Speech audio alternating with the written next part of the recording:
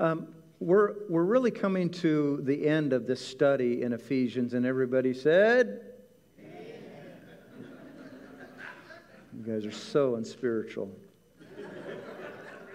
Paul is bringing this letter to a close. Um, he's talked about a lot of stuff. Uh, he's talked about the greatness of the purposes of God in their lives and ours. Um, he's talked about the battle that they have with their flesh, with the world, uh, the life that should follow as we make a commitment to Jesus. He's talked about the standards for them personally, the standards they were to have in their homes and their marriages with their employers, their employees, and their community. And as he moves on from those instructions for how to conduct themselves and kind of those major relationships to what is his closing document, do, topic, the, the transition is almost abrupt. Um, where Paul begins to talk about this battle they were in with their enemy or their adversary, the devil. And the language that he uses in this next set of verses is really almost intense. And it would be great if all of us could spend our lives in some kind of undisturbed tranquility, but we're in a conflict with God's enemy.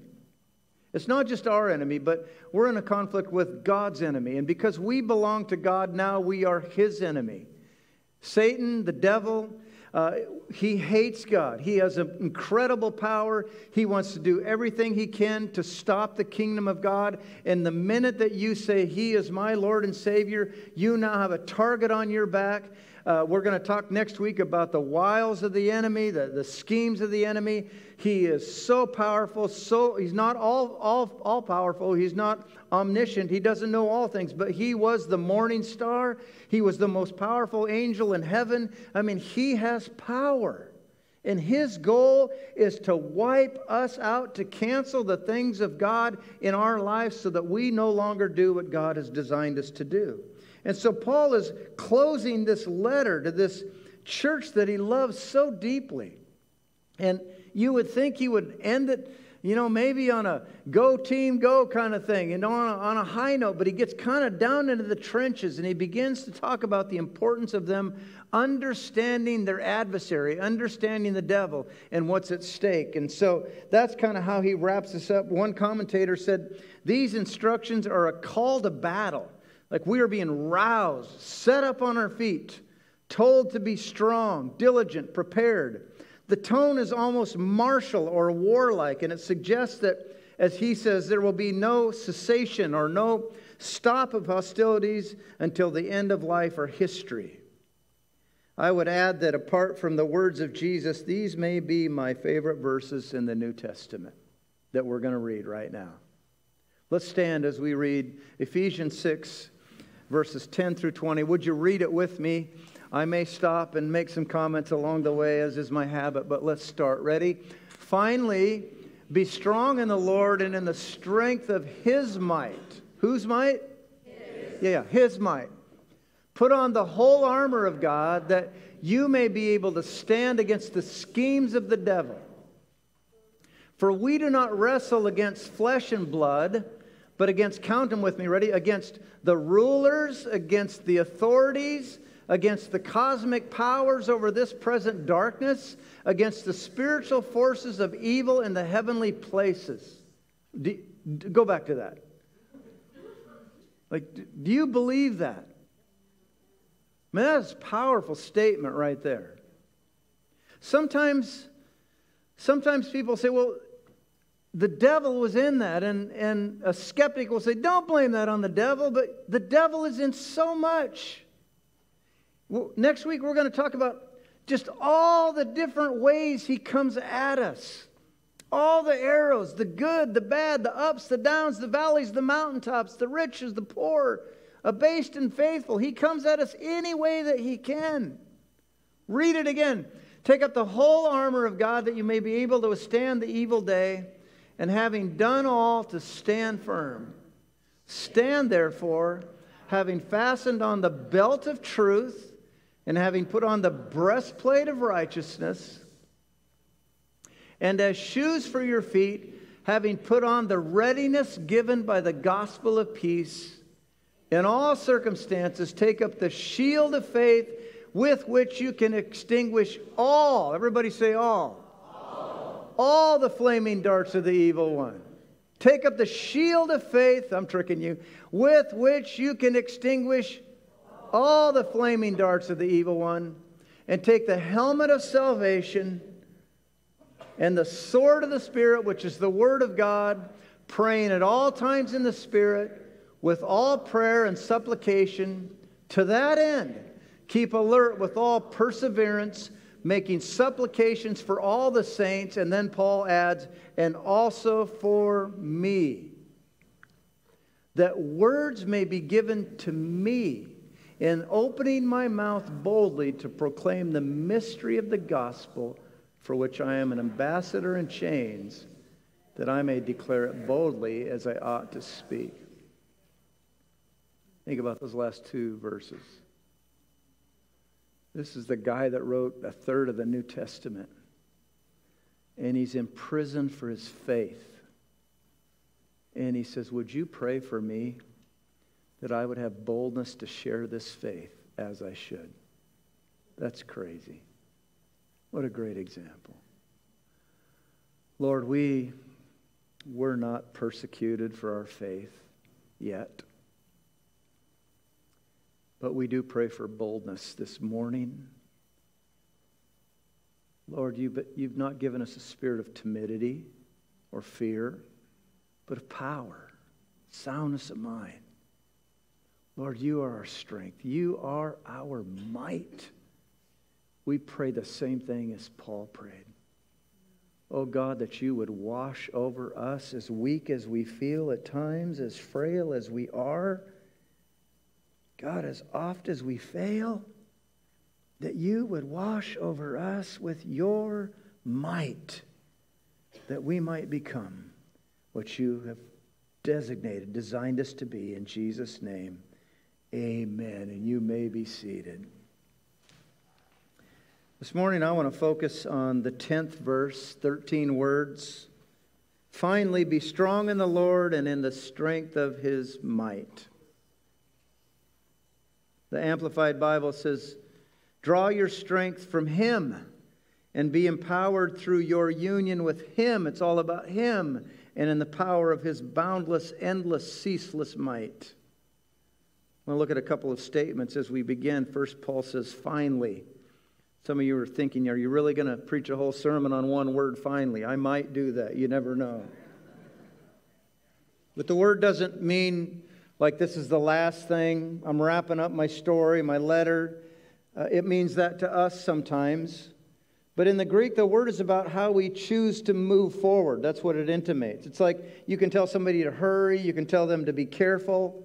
It's a, it's a directional thing. This is how you're going to move. The root word that's used, that Paul uses, he chose, the root word means to leave behind as you move ahead. So it's not this is the end of something, it's really this is the beginning of something. We're going a new direction. We're in this battle with our adversary, the enemy, and we need to like draw a line in the sand, get our coordinates, get our trajectory, and move forward in a certain direction. Finally, like put the word in the Greek means put everything else behind you is a word that soldiers would in Paul's day would commonly say to each other. I can't pronounce it in the Greek, but when they heard it, they knew exactly what that fellow soldier was saying. Like, look, put it all behind you. We're going into battle. We're going to face some things that are bigger than us. We got to have a singularity of focus. We can't dilly dally around. We can't carry anything with us into battle, or else we're going to get killed. And that's how any soldier would approach a battle, right? And that's the word that Paul chose here. Not that this is the end of the letter, but we are engaging an enemy. And we need to put everything behind us if we're going to win this thing. We need to have a, a finally state of mind. Too often, the battles that we lose, we lose them because we don't have a finely state of mind, if you know what I mean. Like we don't, we don't put everything else behind us. We're trying to juggle all these things and fight a battle with an adversary who hates us and is God's enemy as well. We're trying to fight that battle at the same time. It's no wonder we get our you know what's whipped, right? Let's let's have a finely state of mind, church. Whatever it is that keeps hamstringing us, let's get that off the plate and win some wars. Amen? That's what Paul is saying. Finally. Next, he says, We are to be strong in the Lord and in the strength of his might. It's the same thing that God told the Israelites before they engaged in all those battles that they had with their enemies. And remember that when Israel went in to, to uh, take over the promised land, they were outnumbered most of the time. Jericho was a fortified city. It was the greatest city in all of the region. They were way outnumbered when they walked into Jericho. And yet, at the Lord's direction, as they did exactly what He told them to do, the walls fell down and they, they went into Jericho and it became theirs. But you know what happened after Jericho? Then came Ai. And then after that, the Bible says that there were like five or six or seven different kings that got together and they said they, they formed an, an alliance to go against Israel. I mean, they were outnumbered every turn that they made. Think about that. You, you win a battle, you just conquer this land, and it's like the first or second battle in, and the next thing you know, seven kings get together and they come against you. Then what are you going to do? You're going to be strong in yourself, right? No, you're going to be strong in who? Yeah, he, God told that to Joshua over and over and over again. Be strong and be not afraid, not in your might, but in the power of his might. Let's remember who wrote these things, right? These, are these not the words of God? Is not the Bible the inspired words of God? Are they man's words? Are they man's words? No.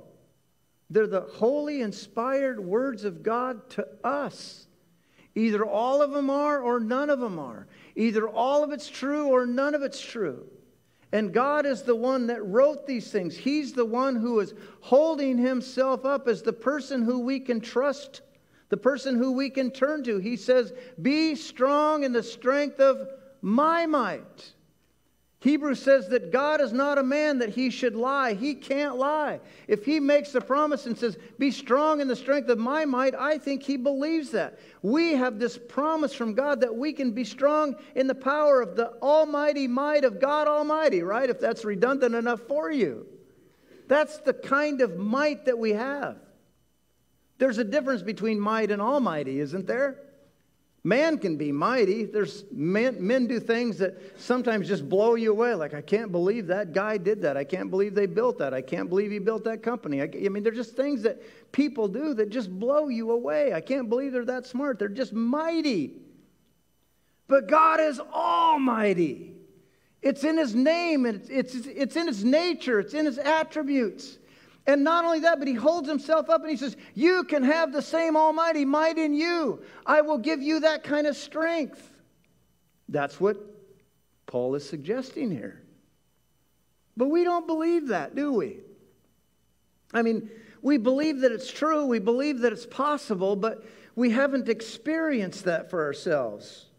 You know, we, we strengthen ourselves according to our own might a lot of times, our own capacity, or the way that we're wired, the things that we have within ourselves, our diligence, our strength, our discipline. We strengthen ourselves within our own human strength all of the time.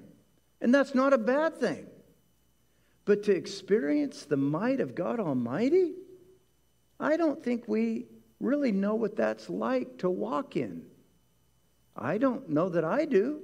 Once in a while, just this, like you just know that's the direction of the Lord and you just whoof, off you go. But we don't experience it like the Bible suggests.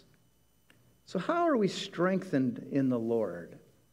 How do we, how do we get past those things that keep hamstringing us? How do we get past those, those addictions? How do we get past that offense? How do we get past the anger? How do we get past the, the, the fruit of the flesh? How do we get past that so that we're strengthened in the Lord? That's what Paul is talking about here. He says, Be strengthened in the Lord and in his might. How do we do that? That's what I want to know. Is that what you want to know? That's what we're going to talk about today. So I'm going to just share five things with you of how we're strengthened in the might or the strength of the Lord. First of all, we're strengthened in the Lord when we spend time with the Lord. That's kind of obvious, isn't it? I added that at last minute. I, I was laying in bed last night, which isn't unusual, going over my message in my head, and I thought, how can you teach on being strengthened in the Lord and not talking about and not talk about spending time with the Lord? That doesn't that's almost heresy. it's something that, that has just become part of my normal habit. Just spending time with the Lord is how I'm strengthened in the Lord. Spending time in what we call prayer. I really want to change the name of prayer. I don't know what we're going to call it. We'll call it something else. And the reason I want to call it something else is we have this idea of what praying is. You know, now I lay me down to sleep. I pray thee, Lord, my head to keep. If I should die before I wake, I pray thee, Lord, my soul. You know, that like we're, we're talking to the Lord. Nothing against Catholicism. They have some beautiful memorized prayers, but prayer becomes just this rote you know, and people will say, I don't know how to pray. I don't know how to talk. And we've turned prayer into something that I don't think God ever intended. Prayer is, is really just part of being with God. Last Sunday was Father's Day, but the, the highlight of my day was just being with my kids. I love that. You, you moms and dads and grandmas and grandpas, you love that. Kids, you, you don't think you, that you mean that much to your parents sometimes. I, I don't know where you get that idea, but we all thought that. But man, they just love being around you. You think, oh, they don't act like they love being around me. They do. They, they love, well, when you get older, they'll love being around you. Maybe they don't love being around you. But I just love being around my kids, right? We, they talked. We played pickleball. We ate. We, we listened, we interacted, we just we just had a day of it. It was a swell day. It was a great day. That's that's what it means to hang out with the Lord.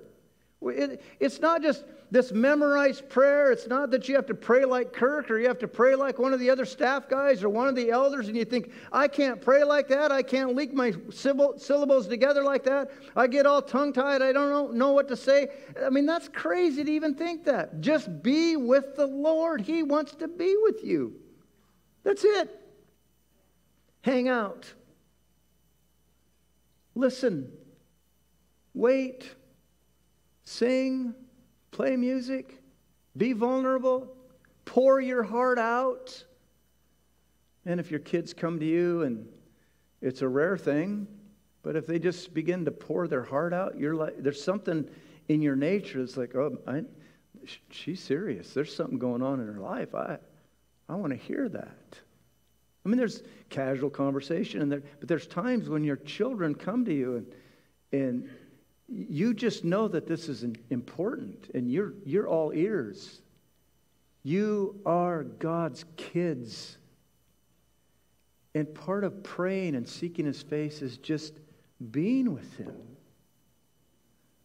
Another part is reading the Bible, reading the Word, the holy inspired words of God. But we've turned it into boxes that you check, and we've turned it into religion, we've turned it into rote. I got to read these five chapters. If I don't read these five chapters, I'm going to be a day behind. We, you know, I, I want to get through this thing in a year. I want to get through it in two years, whatever it is for you. It just becomes diligence and discipline. And, and we should never allow our diligence and our discipline to, to uh, cause us to not just meditate on the word of the Lord. He's not in a hurry for you to get through the Bible, okay? That ought to, you ought to be shouting if you read like me.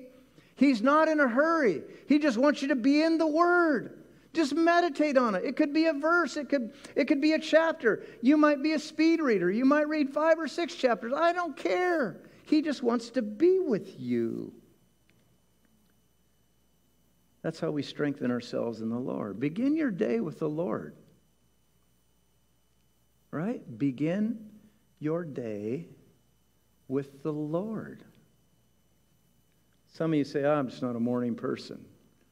I don't believe that. We train ourselves to do anything we want, right?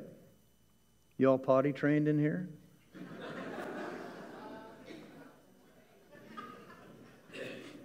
Everything you do, somebody trained you.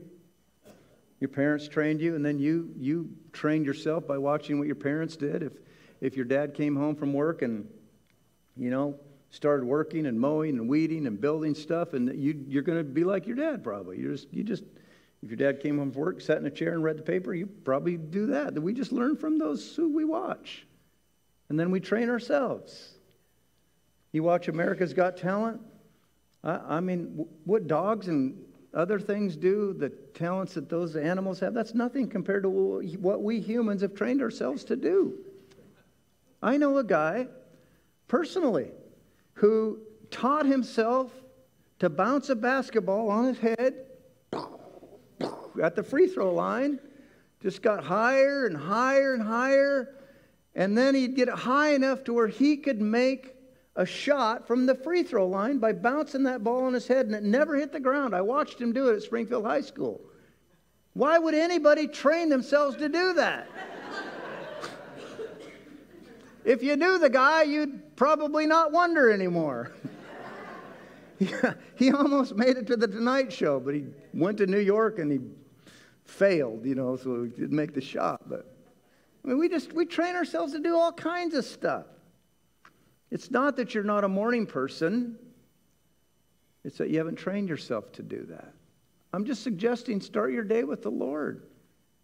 If you want to be strengthened in the Lord, begin your day that way. It's not hard. You think, oh, I just can't get up an hour earlier. Yes, you can.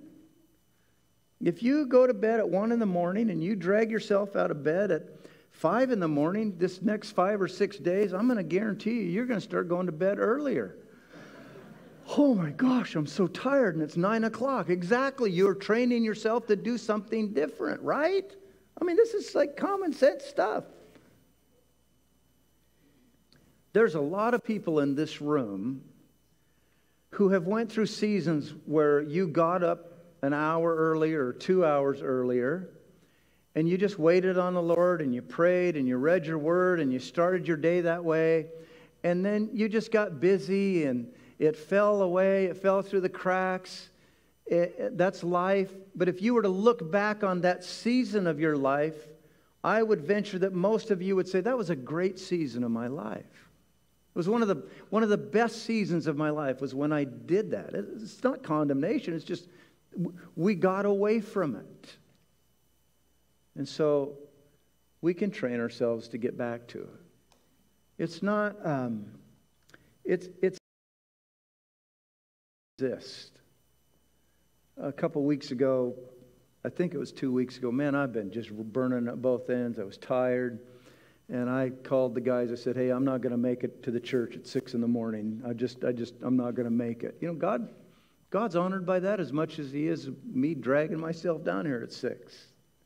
If my heart's not in the right place, but it is important if we want to be strengthened in the Lord that we begin our day with Him. Do you receive that? I encourage you to do that. Begin your day with the Lord. I'm almost out of time. I got four more points.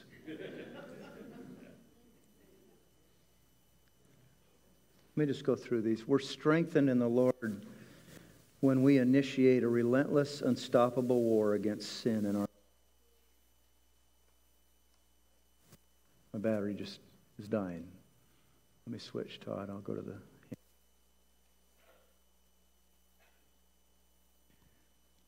when we initiate a relentless, unstoppable war against sin in our lives. That's how we're strengthened.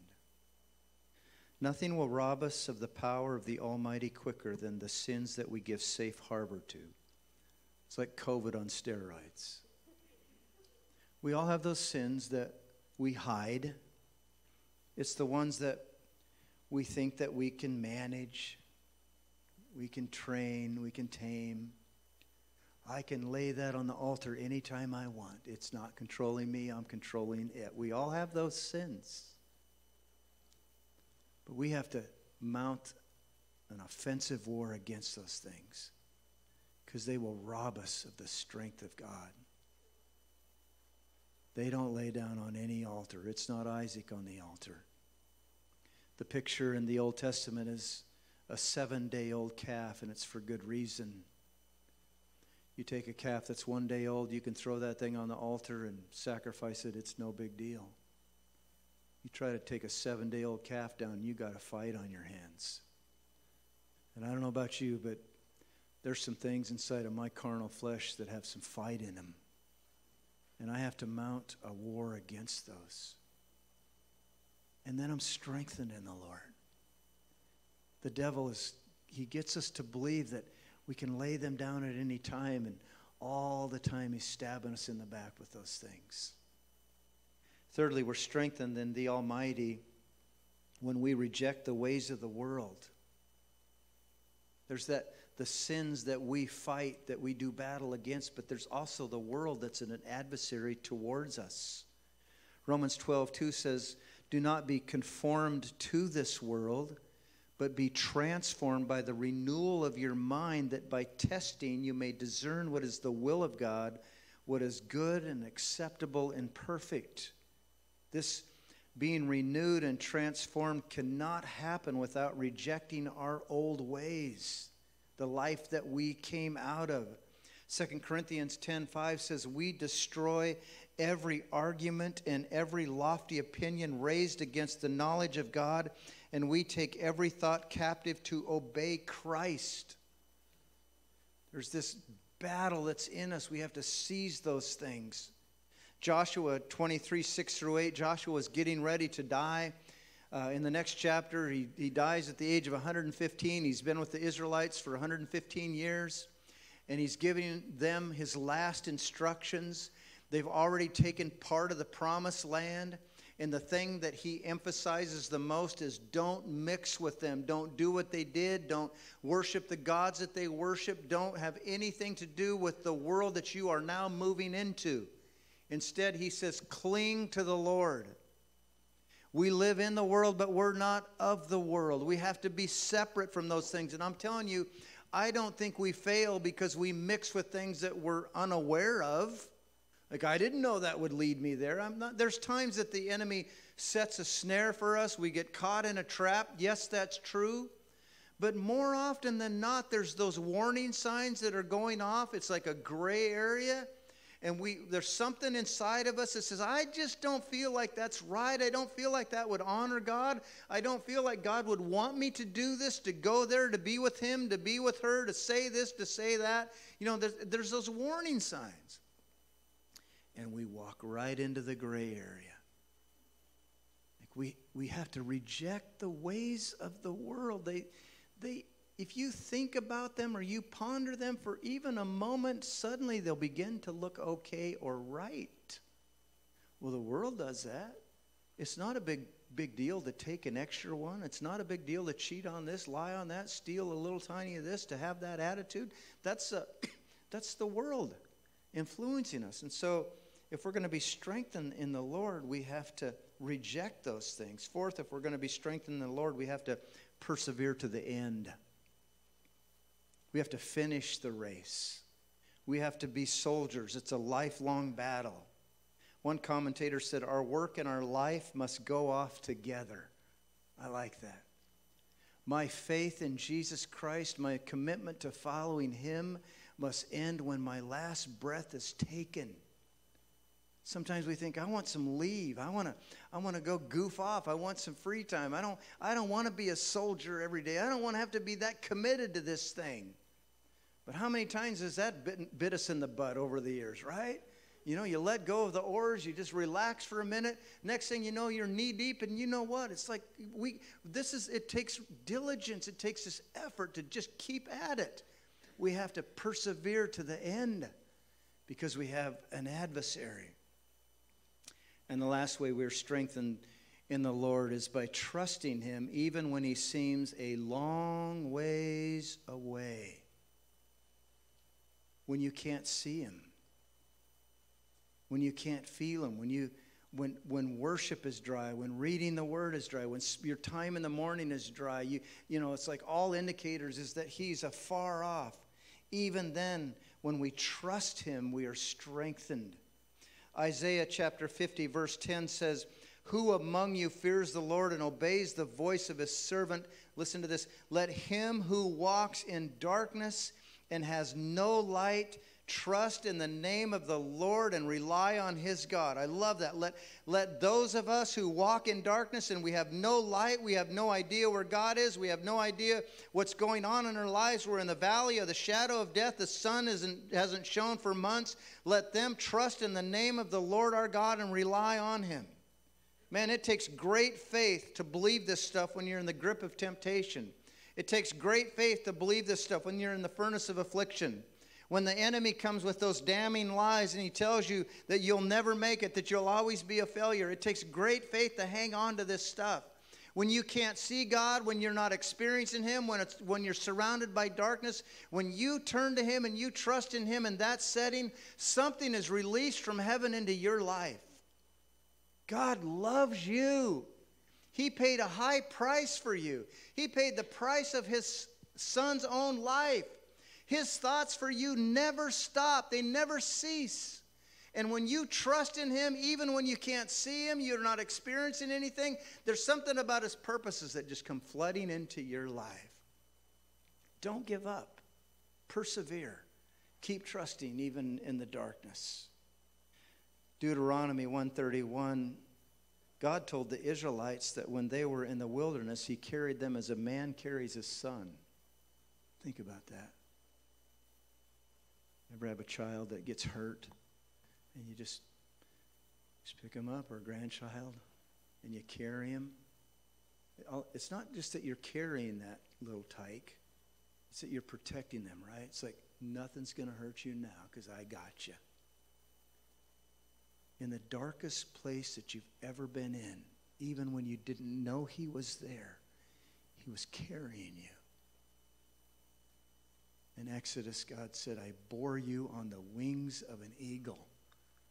Now, the Israelites were actually walking, they weren't flying through the air when God did that, right? But from God's estimation, He was carrying them all along.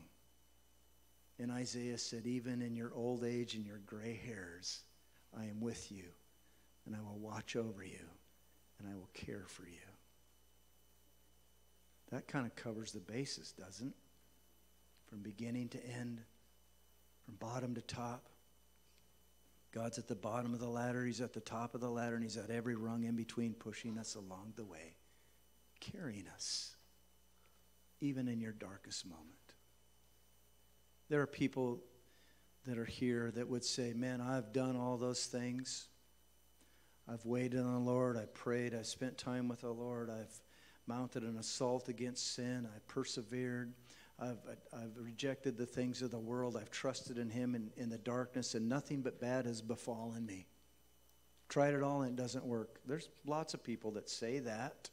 People say that to me from time to time. Sometimes friends have said that to me. And maybe I've thought it as well. But I will usually share when somebody tells me that, I will remind them. I'll just, would, would you just go back for a ways and recount when God has shown up? Do you remember where you were at 15, 18, 23, 45, 62, whatever it is for you? Right? Do you remember that event, that disease, that hardship? Do you remember that trial, that affliction? Do you remember that time when your parents were throwing plates at each other across the house. I, whatever, do you remember when God showed up and He was with you? He met you, He provided miraculously. We need to be reminded, we need to remind ourselves of the times that God has shown up. That's why the Bible is full of times where God recounts just how faithful He has been to His people, because we have this habit of forgetting. And we, when we forget, then we indict God like you never showed up. It's not true. I would encourage you to think back. Where would you be without God? Where would you be without God? I can't imagine where I would be without God. I would also tell you, or just encourage you this morning, that regardless of the circumstances that you are facing in the natural, um, if you persevere, the strength of Almighty will come. The Bible says in Isaiah 40, 31, They that wait on the Lord shall renew their strength. They shall mount up with wings as an eagle. They shall run and not be weary. They shall walk and not faint. Isaiah or Psalm 126, 5 says, Those who sow in tears shall reap with songs of joy. Want to be strengthened in the Lord? Start your day with Him. Mount an assault on the sins that you've been hiding. Reject the ways of the world. Just reject them. They're not working out anyway. Persevere and trust Him when you can't see Him, and He will strengthen you. Can I pray for you? Father, I thank you for this amazing congregation that I get to lead. Lord, your grace is amazing to me. Lord, we're all the same in, in many ways. Lord, we all wrestle with weaknesses, with doubts. Lord, we all wrestle times of darkness. Lord, we need to be strengthened in you. That is a truth. Lord, the success of our Christian walk depends on how confident we are that we can have the strength of Almighty come and breathe into us. And so, God, here I am, here we are. We, we just surrender our lives to you, and we ask that you would give us your strength for our weakness, that there would be that great exchange. God, there's this rich mine, this rich treasure that is before us called the strength of Almighty God. Lord, I pray that we would spend our days mining that strength, taking it in. Lord, we thank you for the strength you've given us. We thank you, Lord, that you've been so faithful and patient with us. Lord, we want to become all that you have for us. Would you go with us now in Jesus' name?